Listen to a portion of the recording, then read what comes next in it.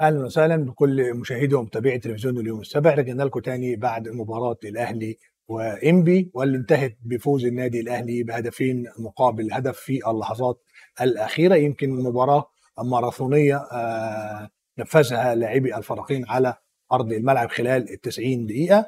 تقدم آه، مصطفى دوداري مصطفى شلبي آسف لي إنبي في الدقيقة 76 وتعادل التونسي علي معلول في الدقيقة الرابعة للنادي الأهلي. ثم أضاف نفس اللاعب الهدف الثاني لفريقه في الدقيقة آه، السبعه من الوقت بدل الضائع. مباراة ماراثونية يمكن شوف شفنا أحداثها وكانت أحداث قوية جدا خلال ال 90 دقيقة. يمكن إنبي قدر إن هو يسيطر على مجريات المباراة وقدر إنه يروح بالمباراة زي ما هو عايز وكان قاب قوسين أو أدنى من تحقيق الفوز والثلاث نقاط لولا طبعا يقظة ورغبة لاعبي الأهلي في حظ الثلاث نقاط وهو ما تحقق في الثواني الأخيرة من المباراة ليعود الأهلي للطريق الصحيح ويعود لانتصاراته قبل طبعا مواجهته الهامه أمام الوداد في دوري أبطال أوروبا أو في نهائي دوري أبطال أفريقيا, أفريقيا 30 مايو الجاري. يمكن لو خدنا كده رأي الكابتن عادل سريعا بقى فنيا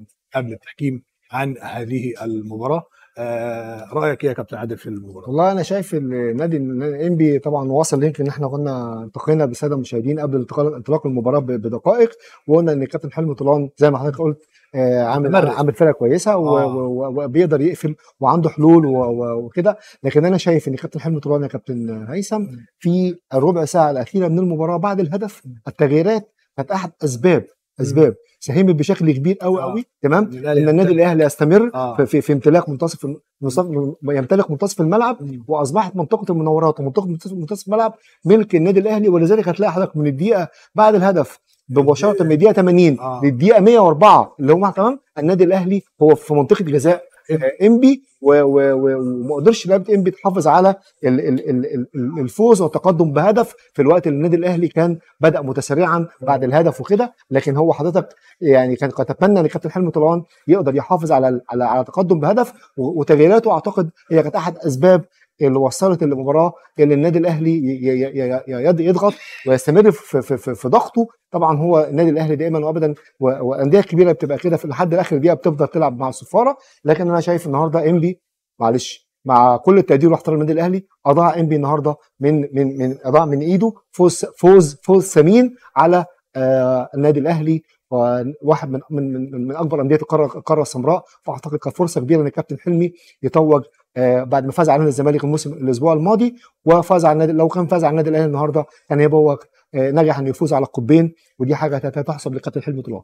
آه طبعا هي طبعا هي عامة هي مش جديدة على الكابتن حلمي يعني فاز على الأهلي وفاز على الزمالك مع فرق أخرى ولكن هو فوز معنوي للنادي الأهلي ولكن لو رجعنا للمباراة هنشوف إن آه موسيماني النهارده المدير الفني للنادي الأهلي يمكن أخطأ أخطاء كثيرة جدا خلال ال 90 دقيقة يمكن هو كان مفروض عليه زي ما إحنا قلنا في البداية عدد من اللاعبين نظرا للإصابات أو الغيابات أو إن هو عايز يريح بعض اللاعبين زي بيرسيتاو ولكن هو فاجئنا كالعادة في تغييراته بتغييرات غريبة يمكن أنا شخصيا يعني مش فاهم معناها لحد دلوقتي زي الناشئ زياد طارق اللي نزله في منتصف الشوط الثاني والفريق كان خسران وحسام حسن اللي راجع من فترة يمكن كان الماتش اللي فات ماتش إنبي كان خارج ال 18 النهارده فوجئنا بيه أشركه كبديل يعني موسيماني لسه بيمارس مراوغاته ويمارس حاجاته الغريبة. آه يا كابتن هيثم آه عنده عنده عنده عنده اللوغاريتمات اللي هيثم غريبه آه ومحدش بيعرف يفك اللوغاريتمات دي غيره هو ولما بيطلع كابتن هيثم في المؤتمرات الصحفية تمام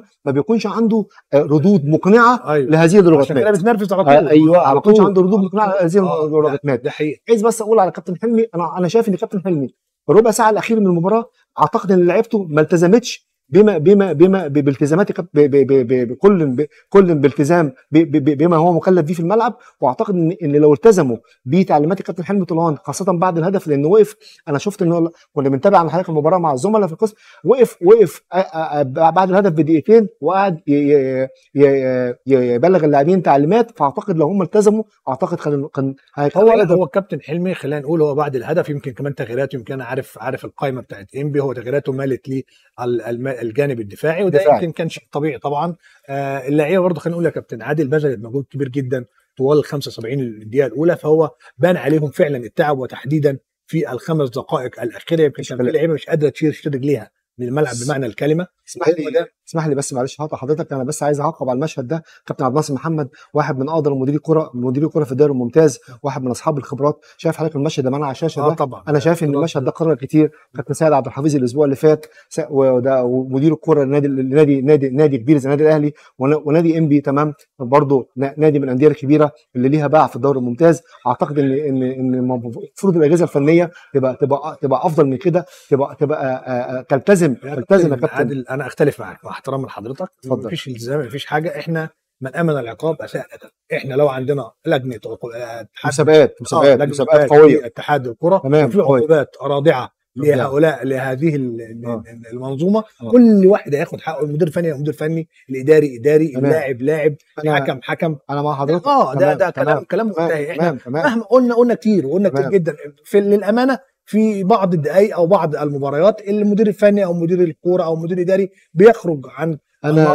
ب- ما ما ما تماما ما- ما- أنا بقيت كلام الحاجات حضرتك عندهم. آه. بقيت كلام حضرتك لأن في تباين سيد عبد الحفيظ عمل نفس المشهد في الأهلي وسيراميكا كليوباترا و- و- والنادي الامر الدولة ما خدش أي موقف. عملوا عملوا مع البنك الأهلي وكان أمين عمر. كان واخد موقف كمان آه. فعلا زي ما اتفقنا. في في في, في الأسبوع الماضي أنا وحضرتك استديو استديو السابق إن المفروض يكون هناك توحيد للقرار لو إحنا عندنا توحيد للقرار سواء. من مع الاجهزه الفنية أو أو داخل الملعب أعتقد هيبقى عندنا دوري قوي. أعتقد الحكام بالظبط. كمان هتعيد هت... الحكام هتحافظ على هيبتها أيوة. هتحافظ على كيانها كقضاة الملاعب يا كابتن هيثم. بالظبط. يمكن ال ال النهارده ده دي المباراة ال 15 للأهلي في الدوري.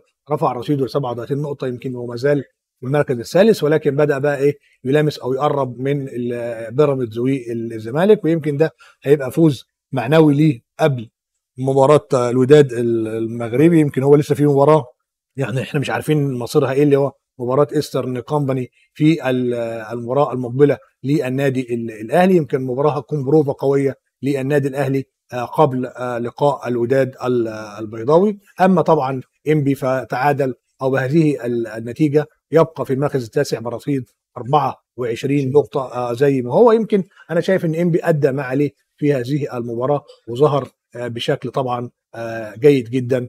شوية شباب لعيبة جايبهم الكابتن حلمي طولان من القسم الثاني وقدر إن هو يعمل بيهم هذه التوليف بالإضافة لجون إيبوكا المهاجم اللي أنا زي ما قلت لحضرتك عليه هيكون هدف الأهلي والزمالك في في الفترة اللي جاية بالظبط مفيش لعيب كلام. عالي جدا لعيب هايل لعيب آه، قوي جدا آه، بيعرف يحرز أهداف من أقل الفرص فده لعيب. فعلا هيكون جيد بالإضافة النهارده لازم نثني يا كابتن عادل على محمود جاد حارس مرمى مرمى مرمى حارس. مرمى المنتخب ال- الوطني آه يعني آه حارس مرمى على الطريق. ويمكن أنا برضو بقول خبر من طريق عن طريق استوديوهاتنا إن نادي الزمالك فتح خط اتصال بشكل رسمي مع مع إنبي مع محمود جاد لتدعيم صفوفه بعد طبعا المستوى المتذبذب لمحمد أبو جبل في حراسة مرمى نادي الزمالك. يمكن هم شايفين فيه الأمل والطموح إن هو لعيب طبعا حارس مرمى صغير السن. يمكن كان مع الكابتن شوقي غريب في المنتخب. الأولمبي في الأولمبياد.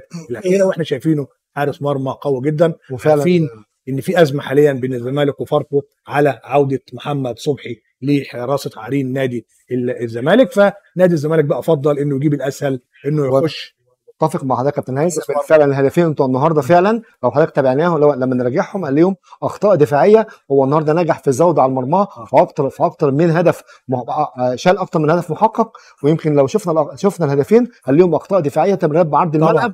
وكان مسؤول عنها ان المساكين أيوة.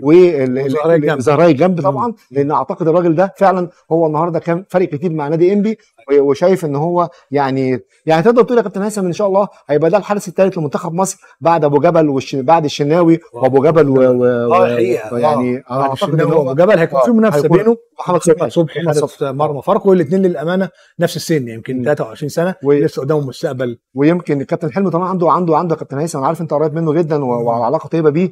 آه عنده عنده ميزة كويسة إن هو بيقدر يتعامل مع اللاعبين نفسيا. فبالتالي بيقدر يخرج يعني محمود جاد راجع من من أولمبياد كان عنده مشكلة أنا آه، كنت بتكلم فيها. مع حضرتك قبل الهوا. كبيرة آه كبيرة. ورغم هذا نجح نجح الكابتن حلمي طولان ان هو يخرجه من من الأزمة النفسية دي ويرجعه على مستواه ونظهر ونشوفه بالشكل ده. عمل ماتش الزمالك برده بشكل كويس جدا جدا. آه يعني. أفضل ما يكون. هو للأمانة محمود جاد حارس مرمى الحارس الكبير بيبان في المباريات الكبيرة فمحمود جاد ممكن يكون ليه أخطاء في المباريات العادية ولكن في لقاءات الرسمية واللقاءات القويه أمام الأهلي والزمالك وبيراميدز سيراميكا الفرق الكبيرة في الدوري الممتاز. لا بيظهر بيظهر بشكله اللي, إحنا نعرفه بيبان آه، قدام الرأي العام إن هو حارس مرمى حارس كبير. كبير فعلا وحارس مرمى ينتظره مستقبل آه، باهر. ويمكن هيكون في زي ما قلت لحضرتك كده قاعدة خلال ال- الميركاتو الصيفي المقبل لإنهاء الصفقة بشكل أو بآخر مؤكد مدرب حراس مرمى في إنبي برضه يا كابتن هيثم مجرد أكيد، مؤكد أكيد، مؤكد مدرب حراس. مرمى في إنبي في الجهاز أعتقد عليه لا لا لا له له دور يعني زي آه. زي يعني أنا بيعجبني جدا كان الكابتن حسام الحضري. السد العالي والكابتن محمد شناوي وكل وأبو جابر كلهم بيقولوا بيطلعوا يقولوا إن إن مدربين حراس المرمى بتوع اللي دربوهم هم أحد أسباب الرئيسيه بعد الله بعد توفيق ربنا سبحانه وتعالى في ظهورهم بهذا لا المستوى لا ده أكيد طبعا أكيد طبعا مدرب حراس مرمى أي فريق حراس المرمى أما بتتغير في أي أي فريق فأول حاجة بيسال عليها في الإعلام مدرب حراس مرمى صح. هذا الفريق. فطبعا دي حقيقة لازم نقول إن يمكن مدرب حراس مرمى إنبي آه، خلال السنتين اللي فاتوا عمل عادة يمكن في محمود جاد وفي بعديه البلعوطي بلوطي ابن البلعوطي نجم نجم المحلة السابق. آه. برضه حارس مرمى على الطريق. يمكن بس هو اللي خلاه بعيد عن الإعلام شوية هو تألق محمود جاد آه. وظهور محمود جاد بشكل صح. يعني جيد جدا. آه نرجع طبعا لمباراتنا بقى. إن ال ال ال ال الأهلي إحنا الجمهور حاليا يمكن آه في حالة من القلق عند الجمهور الأهلاوي آه بسبب طبعا أداء المباراتين دول اللي هو البنك الأهلي والنهاردة مباراة إنبي. يمكن النهارده الفوز فوز خادع الفوز في آخر خمس دقائق كان الأهلي قريب جدا من ال- الخسارة أو حتى التعادل تعادل بهدف لمثله. آه فطبعا يعني ال ال ال ال ال حاليا آه، موسيماني هو بيحاول يريح أكبر عدد من اللاعبين. في لعيبه هترجع على مباراة الوداد. يمكن إحنا عايزين نطمن الجمهور ال- الأهلي إن في لعيبة النهارده يمكن محمد عبد المنعم برضه غاب مصاب. هيرجع أيمن أشرف طبعا هي- هي- هيستعيدوا النادي الأهلي في مباراة الدوري المقبله كان ثلاث انذارات في مباراة البنك الأهلي. الثلاثي الوسط اللي هو عليه علامات يعني عليه حمل كبير جدا في ماتش الوداد. إن شاء الله هي- هي- هيرجعوا. السوليه وحمدي فتحي وديانج. طبعا دول الثلاثه مهمين جدا يمكن بيلعب بيهم الفترة الأخيرة آه، موسيماني. بالإضافة طبعا ليه هيكون بيرسي تاو عودة في ال- الجانب ال- الهجومي يمكن اللي عليه علامات استفهام ولازم يعني الناس يعني تصبر عليه وتدعمه هو محمد شريف محمد شريف. مهاجم الفريق يمكن النهارده لعب وخرج محدش حس بيه ولكن محمد شريف مهاجم على المهاجم الدولي. كلام حضرتك يخليني أسألك سؤالين سرعه سريعين. هل محمد شريف هو متأثر يا كابتن هيثم بما حدث معاه في أمم أفريقيا في في الكاميرون مع المنتخب لأنه رجع نفسيا آه، كارلوس كروش أعتقد إن هو ما كانش بيعتمد عليه وكان آه، وصل لمرحلة من من من من آه، ال- ال- ال- الضغط المعنوي آه، أو أو أو ال- الإحساس الإحساس المعنوي بالإهمال ويمكن ده كان كان آه، ظهر عليه فعلا حتى في المشاركات القليلة اللي كان بيدفع بيها بيه كروش هل ده سبب إن محمد شريف حتى الآن ما قدرش يرجع لمستواه؟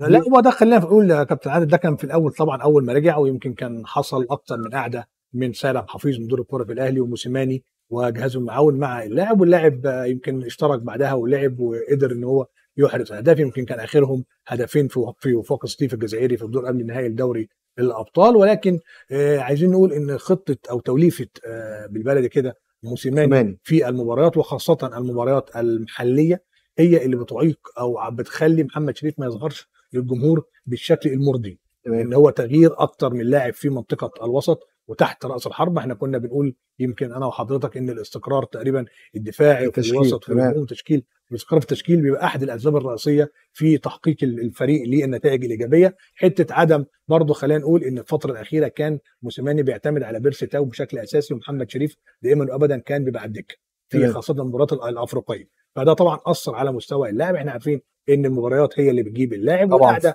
بتجيب طبعا بتهبط من معنويات اللاعب ولكن محمد شريف للأمانة هو لعيب يعني نزل في ماتش وفاق الصيف هنا أحرز هدف هناك أحرز هدف يعني اللعيب بيركز بس في اللعب بيركز في المباراة وده بيديله آه، شكل ويمكن المنتخب الوطني حاليا بي- بينكش كده. محمد شريف بيقول إن هو قريب جدا قريب من من. العودة للتشكيل بالظبط كده. الانضمام للقائمه في أقرب معسكر إن شاء الله. طيب كلامك عن عن عن تشكيل النادي الأهلي وعن آه، لوغاريتمات آه، لوغاريتمات موسيماني. والاستعداد لماتش الوداد. هسأل حضرتك من صالح وأنت متابع جيد جدا جدا للفرق الدوري المصري هل من صالح النادي الأهلي إن يلعب مباراة إيسترن كومباني يوم الاربع تمام؟ تبقى مباراة آه، استعداد فيها زي زي preparation match آه، ماتش استعداد للوداد ولا يستريح لحد ماتش الوداد اللي هو هيكون إن شاء الله إن شاء الله السبت المقبل زي النهارده؟ يوم الاثنين هيبقى يوم الاثنين يا كابتن هيثم أنا أنا آسف. من وجهة 10 نظري أيام ال- يبقى قدامنا 10 أيام. آه لا من وجهة نظري آه، طبقا للي اللي أنا شايفه في المباريات المحلية دوت آه. واللوغاريتمات اللي بيعملها موسيماني آه. آه أنا شايف إن الماتش يتأجل إن الماتش ما فيش مشكلة إنه يت... تأجيله في صالح الفرقة وفي صالح في صالح. الموسيماني وصالح اللاعبين. تدي, أريحية للعيبة تدي أريحية للجهاز الفني. لو. لعيب مصاب لعيب مرهق تدي له برضه إنه يستريح قبل هذه المباراة. المباراة كلها لعيبة الأهلي بتلعبها تحت ضغط عصبي شديد. أي نعم مع احترامنا الكامل يعني لفريق إيسترن كومباني رغم الفرق المستوى. إلا إنه الكابتن علاء عبد العالي المدير الفني بيجيد آه، الدفاع أمام الفرق. الكبار بالظبط مباراه آه، صعبة جدا يمكن النهارده شفناه أمام سموحة كان برضه فايز لحد الدقيقة 95 وتعادل سموحة معاه 2 2 بالعافية مدرب لا مدرب كبير وبيعرف يكسب الأهلي صح، يعني. جيامه كانت ماتش الداخلية في أحد المواسم 2014 تقريبا آه كسب الأهلي رايح جاي ذهاب وعودة. آه صح، صح، رايح جاي. فهو العال معروف بيعرف يتعامل مع بيعرف. الكبيره آه. فطبعا يعني إيه إحنا طبعا ده يعني موقف وطني وفريق بيمثل الكرة المصرية في النهائي دوري أبطال ويمكن نعمل بقى أسوة باللي عمله الاتحاد المغربي في أمام الوداد آه، أجل له ماتش الرجاء قبل قبل البطوله قبل المباراة. بأربع أيام برضه فهو المباراة هتكون قبل المواجهة ماتش ياسر كامبري قبل المواجهة بخمس أيام فيعني خيرا يفعل آه، رابطة الأندية أو اتحاد الكرة بتأجيل هذه الم- المباراة. الآن ال- ال- الآن يا كابتن هيثم قبل ما نخش في التحكيم الآن على بطل مصر وهو بيواجه بطل المغرب في الوصول إلى آه، اللقب الثالث على التوالي وال11 للمر... لل11 هل الآن على على على على النادي الأهلي وهو يمثل الكرة المصرية في دوري الأبطال إن شاء الله يوم 30 هو طبعا كابتن عادل ما حدش يعني ينكر إن هي المباراة آه، غاية في الصعوبة. والندية. آه، خلي خلينا نقول برضو إن المباراة اما هي خلاص فرضت على علينا إن هي تتلعب في استاد محمد الخامس في المغرب. طبعا هت- هتزيد ال- المباراة آه، قوة آه، ندية. الفريق آه، الوداد أو الاتحاد المغربي بيحلم بهذه البطولة بقاله أكتر من ثلاث سنوات آه، يمكن كان خسرها بفعل فاعل أمام الترجي من. المسلمين ويعني كانت حصل أزمة في الاتحاد الأفريقي ال- الكاف. هم كلهم دلوقتي بيمنوا النفس بتحقيق اللقب آه الغالي أمام آه النادي الأهلي ولكن إحنا للأمانة عارفين النادي الأهلي وإحنا كلنا ورا النادي الأهلي في هذه المباراة ال- القوية عارفين الأهلي متمرس على هذه الضغوط وإحنا عارفين إن هو هيواجه ضغوط منذ منذ وصوله. للمغرب آه طبعا مرورا بالتدريبات بقى والحاجات اللي إحنا عارفينها عن إخواتنا ال- ال- المغاربة ولكن عايزين نقول أو نرسي قاعدة يا كابتن عادل إن هي مباراة داخل الملعب فقط. تمام. أشقاء المغاربة أيوة. إخواتنا وإحنا اخواتهم بنعز بنحب جدا إن إحنا نروح المغرب وهم. بيحبوا إن هم. يجوا هنا تمام. يقضوا ال weekend ويقضوا الصيف منافسه. داخل المستطيل الاخضر فقط بس آه عايزين يا ريت بس إحنا كإعلام نرسي هذه برافو عليكم في قاعدة. النهاية يا كابتن هيثم ال- الذي الذي سيحصد لقب البطولة. هو هو نادي عربي أيوه سواء كان النادي الأهلي أو نادي الوداد فهو نادي عربي. هنقول له مبروك هي- هيبقى بطل للقارة السمراء في كأس العالم للأندية فهنقول له مبروك زي ما حضرتك تفضلت لكن بكل تمنياتنا الطيبة طبعا لممثل الكرة المصرية إن هو يوفق من- و- ويحصد الل- الل- اللقب إن شاء الله. بإذن الله طبعا يعني الأهلي يوفق كده إن شاء الله ويكون موسيماني بقى يضع التشكيل المناسب بعيد عن لوغاريتمات من غير لوغاريتمات آه.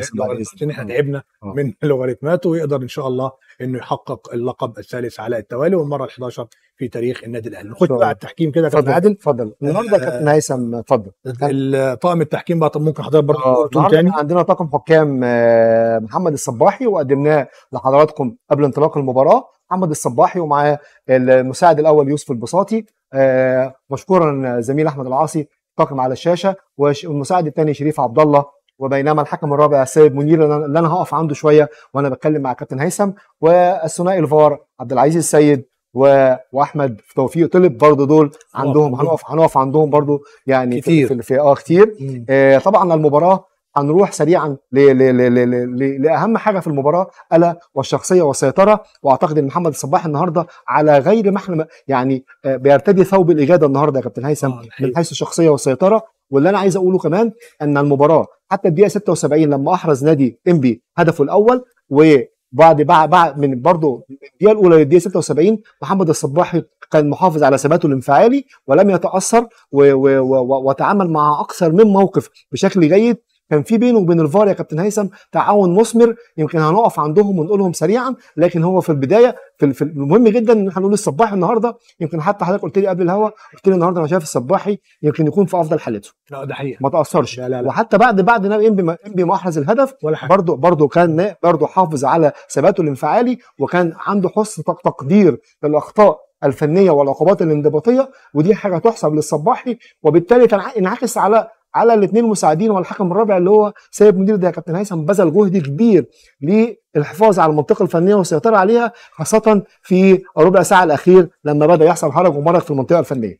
آه النهارده الصباحي عندنا تدخل الفار مع على مع الصباحي النهارده من خلال ال communication system ثلاث مرات مرتين طلب طلب, نادي انبي آه طلب نادي أهل الأهلي آسف بلمس- بلمسة يد على مدافع على مدافع نادي انبي تمام ولكن في المرتين كان في تواصل مع محمد الصباحي من خلال ال communication system مع عبد العزيز السيد وقال له play on مفيش مفيش حاجة يستمر اللعب. وفعلا الصباحي بعد ما بيقعد يتشاور معاه عبر ال communication حوالي 30 ثانية 45 ثانية على الاكثر بيشاور باستمرار اللعب. وده حصل ثلاث مرات النهارده في الشوط مرتين في الشوط الأول ومره ومرة في الشوط الثاني في الشوط الثاني في مرة في الشوط الثالث في الشوط الثاني تمام آه كان في لمسة يد عايز أقول بقى النهارده ان الصورة والتصوير تمام؟ و- و- و- والكاميرات في في في, في اماكن في الزوايا الموجود فيها يا كابتن هيثم لم تكن آه، في اماكن آه، جيده وبالتالي الفار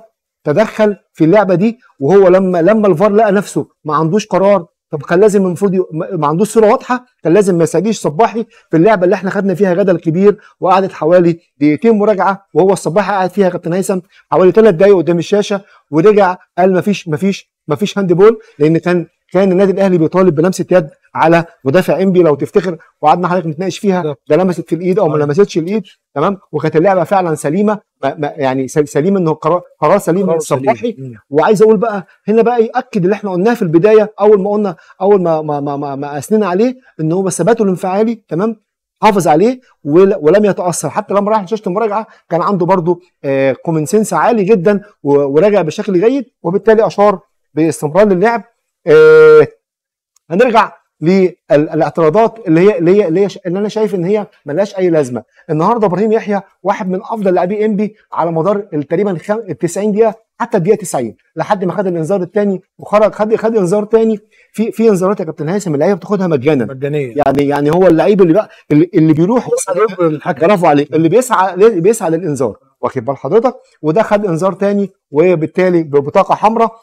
طبعا في بطاقة حمراء كمان لكابتن محمد آه لكابتن عبد الناصر محمد. مدير الكورة وده بطاقة حمراء مستحقة بتمنى بتمنى من خلال المنبر اليوم السابع إن كل الحكام في الدوري الممتاز تكون حريصة انها إنها ما, ما تديش فرصة للاجهزه الفنية سواء الجهاز الفني أو الإداري بالاعتراض على قرار الحكم ويكون قرارهم حاسم لأن ده هيفرق كتير جدا المسابقة بتشتغل يا كابتن هيثم محتاجه محتاجة آه آه آه حسم حسم.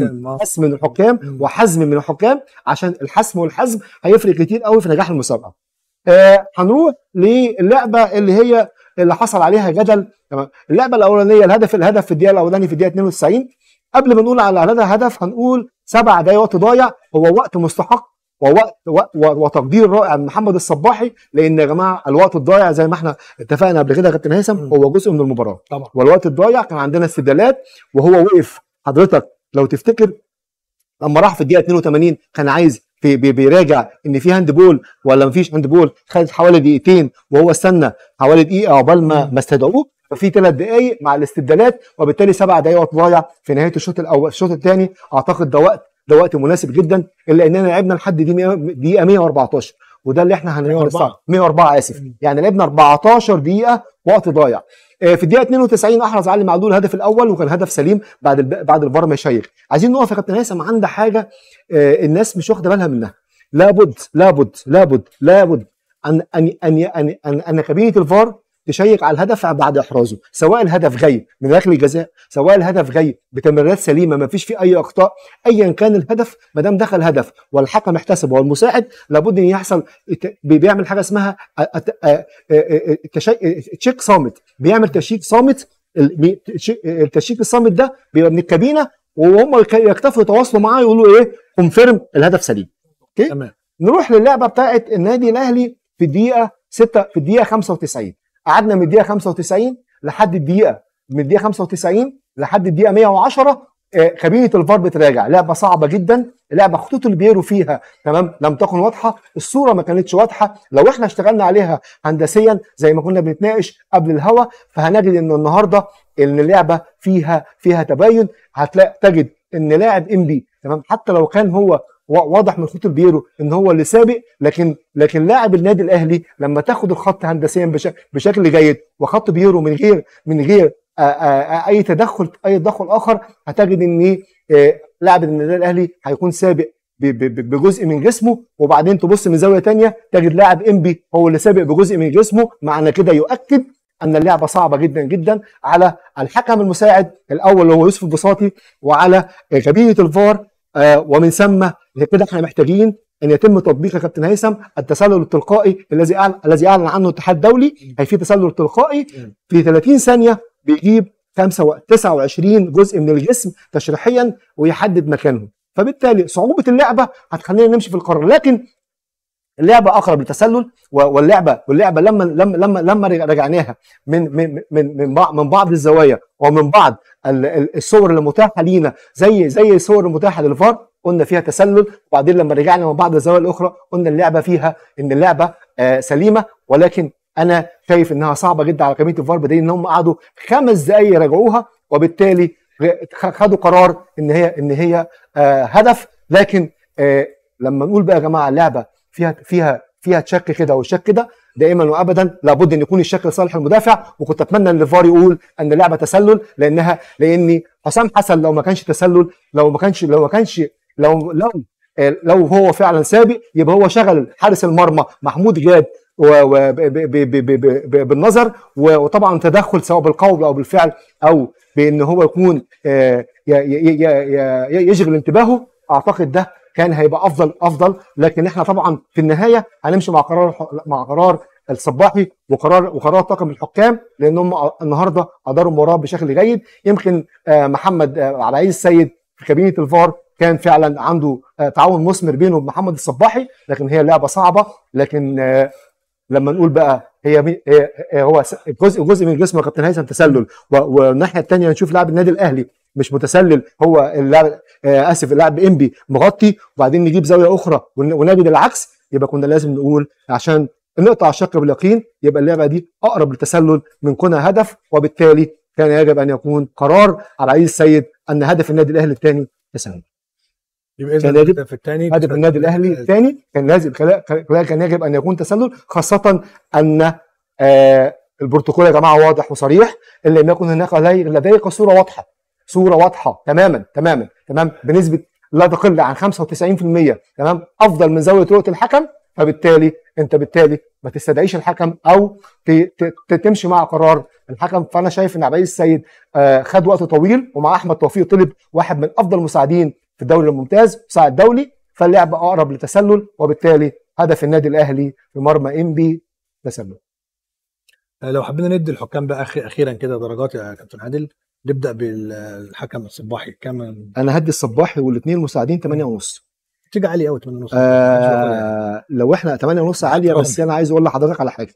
النهارده عايز أقف عند كم كم آه عند كم نقطة مهمين جدا سريعا. مم. محمد الصباحي بعد ما احتسب الهدف وبعد ما قعد خمس دقائق مستني منتظر الفار في حوار مع اللاعبين ومنتظر التشيك بتاع الفار تمام؟ لما استأنف اللعب تمام؟ كان عنده آه، يقظة إن هو أضاف الوقت اللي ضاع ده واخد بال حضرتك. على وقت المباراة. دي واحدة. الثانية اتفقت أنا وحضرتك ان هو لم يتأثر خلال المباراة لم يتأثر.